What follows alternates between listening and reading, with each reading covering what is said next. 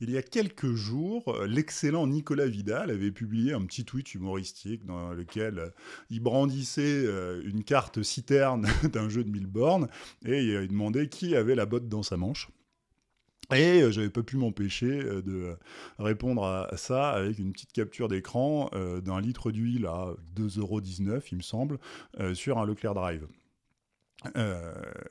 Et je m'étais arrêté là, je pensais pas aller plus loin. Et puis finalement, je vais quand même euh, aller plus loin, euh, parce que là, je viens de voir que c'est, les, réservations d'hôtels étaient en train de s'effondrer euh, en France, justement à cause de cette pénurie, parce que vous pouvez minimiser les pénuries à la télé, bah, dans le monde réel, elles sont quand même là. Vous pouvez faire comme si elles n'étaient pas là. Après, vous pouvez aussi faire comme si les gens partaient en vacances quand même, mais en vrai, ils partent pas. et du coup, bah, je, vais, je vais sortir mon truc un peu plus loin et on va développer un peu tout ça, euh, parce que, bah oui, aujourd'hui, euh, si euh, vous voulez à Paris vous faire livrer 25 ou 30 litres sur le... Encore une fois, j'ai pas fait de recherche autre que d'aller sur un Leclerc Drive et de voir qu'on pouvait trouver un litre d'essence, un litre de, pardon, d'huile de colza à 1,99 euros le litre à Paris, livré chez vous à domicile. Euh, comparer ça avec euh, une sortie nocturne à 3 ou 4 heures du matin pour aller à Gonesse ou je sais pas où, moi c'est les retours que j'ai eu à des endroits où vous n'êtes pas euh, exactement, exactement en pleine sécurité, surtout quand vous êtes une petite minette à 4 heures du matin pour retrouver des stations dont vous avez deux chances sur trois pour qu'elles soient déjà vides, bah franchement, euh, ça, ça, peut, euh, ça peut être tentant.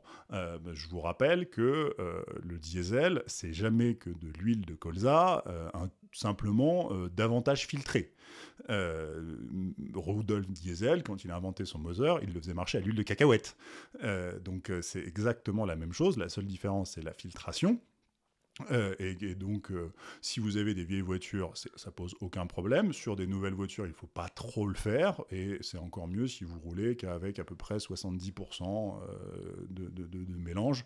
100% trop longtemps, ça peut poser des problèmes au moteur. Mais je m'arrête là tout de suite immédiatement, ne faites surtout pas ça, parce que bien évidemment c'est illégal, voyons, si vous ne payez pas votre TIPP, vous n'avez absolument pas le droit de mettre quoi que ce soit dans votre réservoir sans avoir payé la taxe, donc ne le faites pas, Hein, je, donnais ça, mais c'est une bêtise de ma part, ne le faites surtout pas. Je vais me faire striker ma vidéo, moi, après.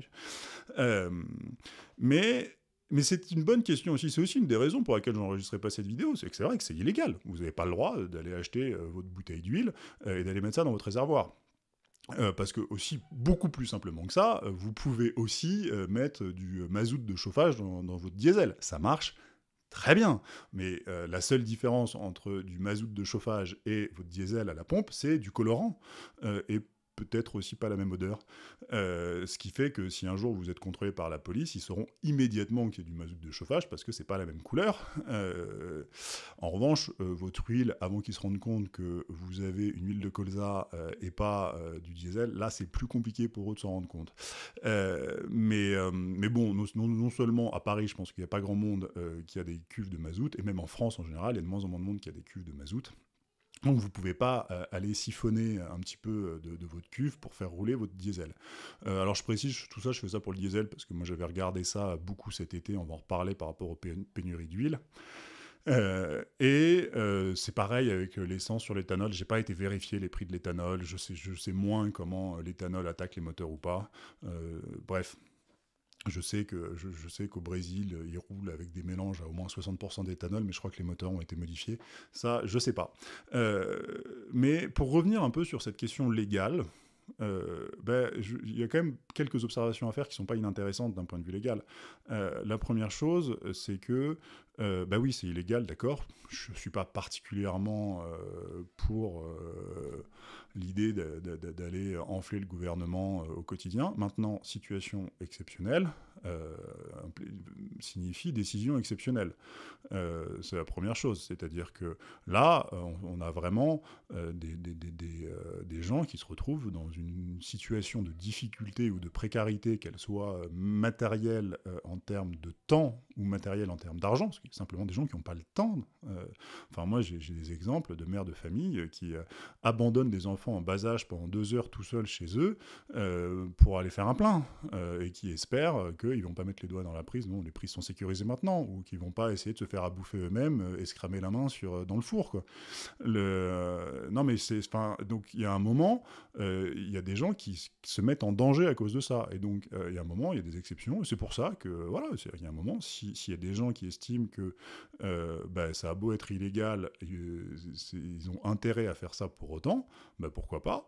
Et d'autant plus que je fais partie des gens euh, je ne suis pas légaliste. Pour moi, la loi, c'est pas l'alpha et l'oméga de ma vie. C'est très important ça. Ça ne veut pas dire qu'il ne faut pas respecter la loi, blablabla. Bla, bla, bla, hein, on ne va pas rentrer dans la caricature. Simplement, bah oui, je suis partie des gens qui estiment qu'il y a une loi naturelle euh, au-dessus de la loi des États euh, et que, deuxième chose, peut-être plus importante encore, qui là est une observation, c'est qu'une loi n'a jamais de valeur qu'à mesure qu'elle est appliquée, qu'elle est observée. Mais vous prenez par exemple le, le, pass le, pass vaccinal, si personne ne l'avait appliqué, il serait tombé tout seul. Je dis pas qu'il faut qu'il fallait pas. Je suis juste en train de faire cette observation-là. Euh, vous prenez, euh, c'était quoi? C'était les bonnets rouges. Les Bretons, quand les Bretons ont décidé qu'ils voulaient pas de la taxe sur les camions, euh, je sais plus comment ça s'appelait ce truc-là, bah, ils ont dit non, on n'en veut pas, et ils ont réussi. Euh, donc vous avez, vous avez ce rapport à la loi aussi qui, à un moment, euh, quand euh, vous avez quelque chose, vous avez par un moment un intérêt supérieur. Et là, bah, il y a des gens pour qui ça peut devenir un intérêt supérieur. C'est pas mon cas. Moi, je, ne m'amuse pas à faire, rouler ma bagnole euh, à l'huile de colza parce que je suis pas dans cette situation-là, mais je peux comprendre qu'il y ait des gens qui soient dans cette situation-là. et c'est d'autant plus important que, bah, ok, une loi ne vaut jamais qu'à mesure qu'elle est appliquée. je rappelle également que euh, sous la Ve République, à, l'article 3 de la Constitution, euh, le, peuple est souverain, ça c'est pas, c'est le préambule carrément, euh, mais que la souveraineté du peuple s'exerce par ses représentants et par les référendums. La Ve République est une république qui marche sur deux jambes, une jambe représentative et une jambe de démocratie directe. Alors, on parle des référendums, les dissolutions parlementaires sont aussi une forme de démocratie directe, et on pourrait arguer que les élections présidentielles sont aussi une forme de, démocratie directe. Depuis que euh, les candidats ont été cornaqués et que en fait vous n'avez plus de candidats populaires qui arrivent à émerger, on peut estimer que non, les, élections présidentielles ne sont plus euh, un, moment euh, de démocratie directe puisque les candidats populaires n'arrivent plus à émerger. Et du coup, ben, référendum, dissolution, vous vous rendez compte que depuis 2005, il n'y en a pas eu et que même le référendum de 2005, qui euh, a été le grand échec de la Constitution européenne, donc le peuple a dit non, et il s'est fait marcher dessus. On l'a quand même eu, en pire. Euh, donc, en fait, on se rend compte que euh, depuis le début du XXIe siècle, il n'y a plus de démocratie directe en France. On n'a plus du tout. Donc s'il n'y a plus de démocratie directe, ben, il reste quoi? Vous avez après la rue, pendant, et ça c'était ma dernière, une de mes dernières vidéos, donc je dis bah oui, bah, même si on faisait plus de référendum, bah, quand les syndicats arrivaient à mettre un million de personnes dans la rue, le gouvernement se couchait, loi retraite, CPE, toutes ces choses-là. Euh, on a comme ça les grands mouvements sociaux, quand il y avait une loi, bon, bah, il y avait un million de personnes dans la rue, le gouvernement se couchait, c'est bien, c'est pas bien, n'empêche que quand vous avez plus de démocratie directe, ça reste une sorte de rémanence de cette démocratie directe. Maintenant, on n'a même plus ça, puisque Macron a cassé la rue. Alors, il l'a cassé une première fois, peut-être qu'en retour, c'est lui qui va se faire casser cette fois-là. C'est le risque qu'il prend, son problème. Euh, mais il a cassé la rue, et quand vous avez encore cassé la rue, il reste quoi? Ben, il, reste, euh, il, reste la résistance passive, les trucs à la Gandhi, en mode tu peux faire ce que tu veux, je ne collaborerai pas. Euh, et notamment, vous pouvez, et c'est pour ça que le rapport à la loi est important, c'est qu'il y a un moment, quand vous n'avez plus de démocratie directe, quand vous avez plus. Quand vous quand vous regardez l'esprit de la Ve République, plus de démocratie directe, c'est-à-dire plus de démocratie du tout. Euh, la Ve République part d'un constat assez simple, c'est que vous n'avez pas le droit de laisser ni la rue ni la Chambre prendre le pouvoir. Ni l'un ni l'autre. Mais à partir du moment où vous, avez euh, cassé euh, ça, ben, vous n'êtes plus en démocratie. Vous ne pouvez pas avoir que la partie représentative et pas la partie directe. Euh, soit vous avez les deux, soit vous avez rien. Et là, du coup, bah, on n'a pas les deux, on n'a rien. Donc moi, j'estime aujourd'hui qu'il n'est pas euh, abject de dire que nous ne vivons plus euh, dans un système démocratique. Il est pseudo-démocratique, il est éventuellement à rémanence démocratique, mais en vrai, il n'est plus tellement. Bref, je ferme cette trop longue parenthèse. Euh, donc voilà, c'est pour ça que je me dis, bah, si vous voulez remplir euh, vos réservoirs d'huile de colza alors que vous n'avez pas le droit de le faire, bah, faites ce que vous voulez après tout. Franchement, si ça peut vous sauver la mise, euh, ça vaut le coup de le faire. et je voulais juste faire deux autres euh, deux autres observations, euh, je vais encore finir par l'observation la plus importante. Bon, euh, l'observation, ça je vais la faire rapidement, c'est que j'étais étonné de voir le prix d'huile aussi peu cher, et j'aurais pas dû être étonné en fait, parce que il y a quelques mois, quand on était en plein pendant les pénuries d'huile, et que tout le monde répétait partout que non, c'était pas du tout parce que l'huile était détournée vers les biodiesels, et j'avais dit, bah si les gars, si vous avez des pénuries en France, bien davantage qu'ailleurs, il y en avait un peu en Allemagne, un peu en Belgique, mais pas tellement ailleurs.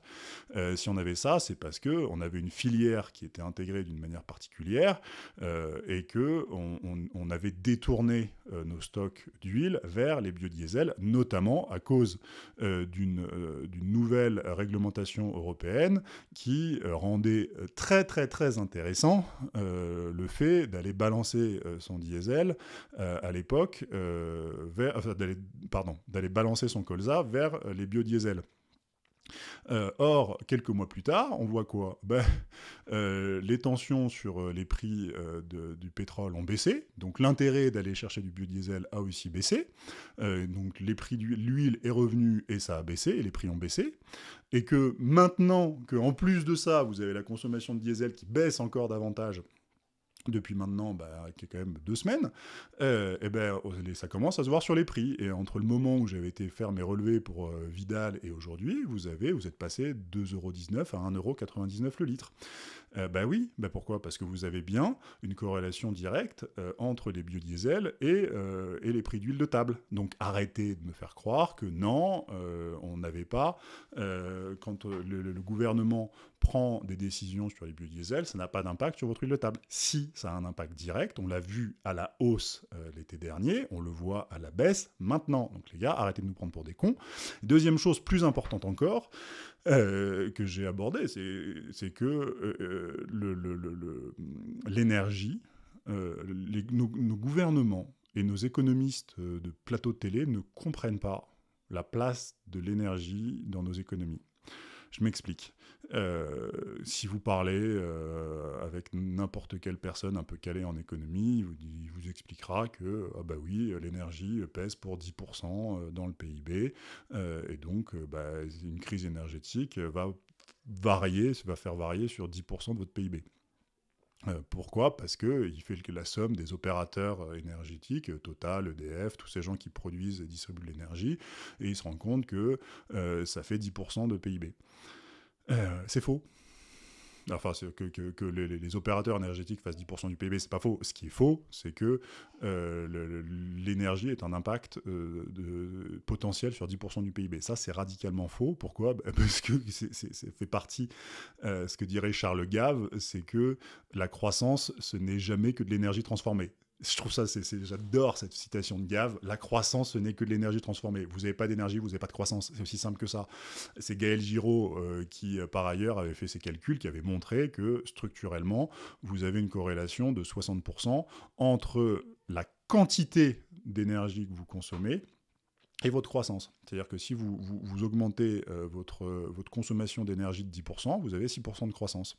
Si vous baissez votre consommation d'énergie de 10%, qui voudrait qu'on baisse notre consommation d'énergie? de 10%, alors ils n'ont pas dit énergie peut-être, euh, eh ben vous baissez votre croissance de 6%. Alors il y a des effets retard, c'est des, des, corrélations de long terme, c'est pas, ça se fait pas en 6 mois de temps, que vous, mais si vous corrélez à long terme, c'est ce que vous avez, et c'est normal. Pourquoi? Bah Parce que euh, vous avez beau dire, oh non, c'est pas si compliqué, les pénuries d'essence, c'est pas tant que ça, bah, qu'est-ce qu'on voit? Bah, Vous avez des annulations d'hôtels. Alors vous pouvez faire comme s'il n'y a pas de pénurie d'essence, et puis après vous pouvez faire comme si vous partez quand même en vacances. Bah, finalement, l'hôtel, lui, il n'a pas ses clients qui arrivent.